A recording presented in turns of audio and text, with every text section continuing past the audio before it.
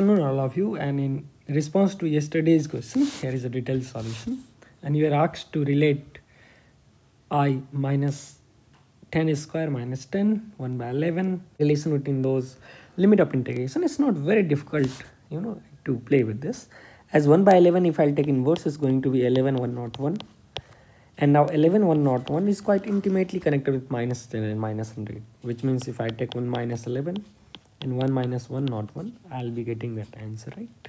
Minus 10 and minus 100 similarly if you see 11 by 10 is connected with uh, 1 by 11 and 1 not 1 by 100 is connected with 1 by 1 not how it's connected? We can see like this. This can be written as 1 plus 1 by 10 and the second thing can be written as 1 plus 1 by 100 and similarly if I take away 1 from both of them you know and then take the inverse. So it's going to be related with 10 and 100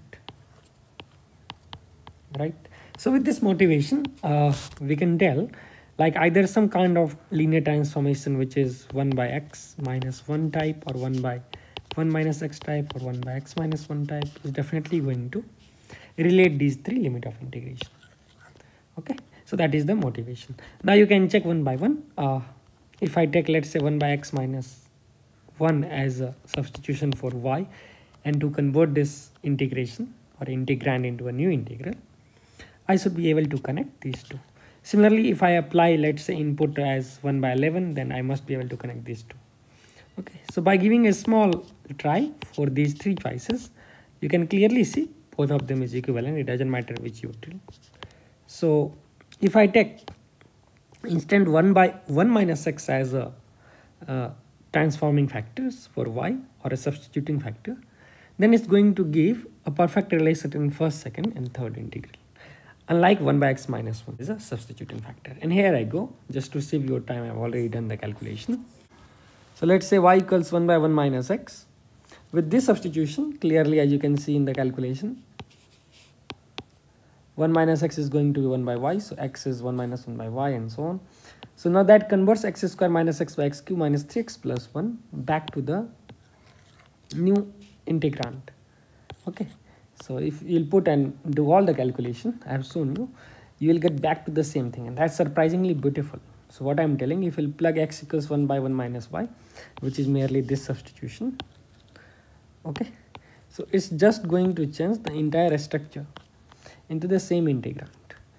And that's a good news because now 1 by 1 not 1 1 by 11 is getting transformed to the second IAB part. Okay? So just by putting x equals here you can see x is y minus 1 by y.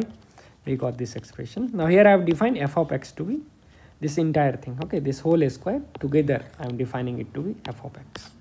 So with that definition in mind if we'll convert this the final expression gets to be f of y divided by y square so that relates 1 by 1 not 1, 1 by 11 to 1 not 1 by 100 and 11 by 10. Now again, if I make the same substitution, let's say t equals 1 by 1 minus i. So 1 not 1 by 100 is converted to minus 100 and that's converted to minus 10. And since this quantity will still be the same, so having same structure, and y square will become t minus 1 by t whole square. So that appears like this. And dy is, since it's 1 minus 1 by t, so dy will become dt by t square. So finally, uh, we can clearly see the first part of the option is none of the IB which was asking here. So I of you know AB for different value of A and B which was there in the option they are not equal to their corresponding different counterpart. Okay. So first three options is wrong which was already posed in the yesterday's question. Now let's come to the next option where we need to add all the three. Now clearly evaluating separate integration as enough motivation is there till now is not a way. So what I have done is now I have kept every integration in terms of minus 100 to 10 minus 10 and that feels cool right. So similarly 1 by 1 not 1 1 by 11 as you can see from here we started with this integration it can be written down in terms of minus 100 to minus 10 and we have this expression with ft as the entire integrand in the original problem so that becomes ft by t minus 1 whole square. The third quantity is still same here. If I convert 1 not 1 by 100 and 11 by 10. So just y square will not be there, okay? Because y square is coming from the previous step because of substitution. so that's why everything except y square now when we'll add all this and you can clearly see we'll get same thing f of t this is f of t part and this by taking LCM becomes quite nice because these two guys gets kicked off and this quantity can be written as a square plus 2t a square minus 2t plus 1 by expanding this. And here you can see I can take 2 common so t square minus 1 and plus 1 square which gives you a square minus 2ab plus b square kind of a structure. So finally we are left with this expression. Right? Let's call this psi t. Now this is not same as you know f of t because f of t was everything except minus now clearly uh, if the question is asking for the sum and it's JEE problems maybe in comprehension of course it will be a tough problem JEE ones but we must have a way you know like to get the answer. So one of the guess it's not a guess or rather i can tell the thought process is since you can see in the denominator we have t cube minus 3t plus 1 whole square. So now something by this whole square will come out of differentiating t t t cube minus 3t plus 1 only.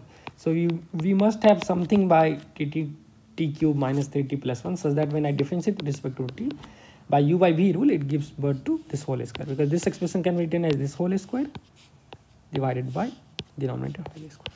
So in denominator we must have this term with one copy. Okay now if it is constant by this clearly that will not work because you can see its derivative will give just a square term but we have y square. If it is linear its derivative so what we'll do? We'll differentiate linear term we'll leave the cubic term minus will differentiate cubic term 3t square will leave linear term. So anyway numerator it's going to produce 3 degree only because t square into linear is the only source of production t so still it cannot be linear right? So in general if I'll think of again a substitution let's say quadratic ATA square plus BT plus C types like I'm not sure whether this will work but at least that will be a very strong way of attacking the problem okay? So now I can tell denominator will have something cubic kind whole square. Differentiating numerator will give linear. And we have t cube minus maybe t cube will give something square and times t. So now it brings degree 4 and which makes sense. Okay? Indeed if i'll make this substitution and by differentiating this expression in comparing with with the given integrand i get the value of abc as minus 1 b 1 and c is 0 and that's a good news. It means if i take this expression and differentiate this i'm getting the answer. In fact you can uh, i think plus minus you can check whether it will be t square minus t. That's an exercise for you. By t cube minus 3t plus 1 uh, whether by differentiating this quantity you are getting this whole square or this. Okay. So finally we know this is nothing but perfect differential like so this entire quantity is d of t cube minus 3t plus 1 and t square minus t. Integration of this. Now this is nothing but if i define this to be let's say psi t okay? If i define this inside wala is psi t or psi x then the answer is psi of minus 10 minus psi of 100 and that's clearly rational because in this if i'll calculate the psi of minus 10 we have 10 square 100 plus 10 divided by you know minus 10 cube plus 30 plus 1 so this is a rational number similarly if we'll calculate psi of 100 minus 100 in fact so it's again going to be some rational so rational minus rational is rational. And clearly this value is not 90 as you can see we are getting a fractional value okay so maybe this problem directly doesn't comes in the examination but the ideas and it's also possible like in this length the question will not come because the calculations was two or three manifolds. So usually in objective pattern they the JEE team savers from asking such a lengthy problem. But at least the idea of this problem was very fascinating. And instead of this square and cubic they can give you linear and quadratic whole square or whole to the power 2023 which even JEE Mains does. Which there was a question like x cube minus something plus something whole to the power 2020 4 or 3 dx in fact it was 25 dx and then you apply King's rule it becomes i equals minus and answer was 0 it was the problem from one of your giant session okay. So there can be a problem where a particular linear uh, substitution still makes the integrand unchanged. Okay. Or maybe they can ask you they can define two integration. 1 by 1 not 1 1 by 11 fx dx another was 1 not 100 11 by 10 fy fx by x square dx and then they ask you to relate of course they'll be same. Okay. So these kind of manipulations are very important in this chapter. I hope you are enjoying the session. I'll come with more videos where it will teach you one particular concept with full depth and moreover the thought process involves this rather than just blindly solving and giving you the solution. Thank you. Have a good day. Please do like and subscribe to the channel